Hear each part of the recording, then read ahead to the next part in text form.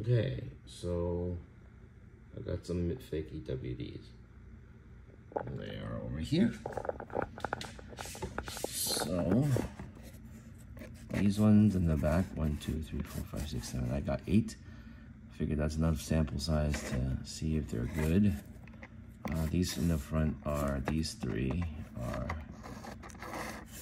um, real EWDs. These two look pretty new. This one is kind of worn, but anyway. These ones in the back, you can see the color's a little different. And if you look at the side view, yeah.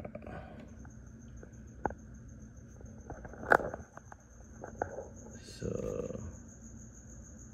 I don't know if you can see. Let me go back to no zoom.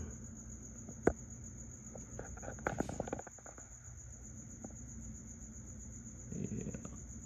Um, no, let's get some of these out of the way. So me just compare. So they're all kind of the same.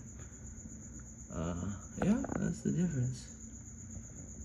It's a little bit different. We can try another pair. Some of them are crooked too. Like the tip is little crooked. Here's another pair. Yeah, uh, yeah. Just find another random pair this time. Yeah, this one, the EWD that I have looks a little warm, but yep, this is gonna perform a little bit different.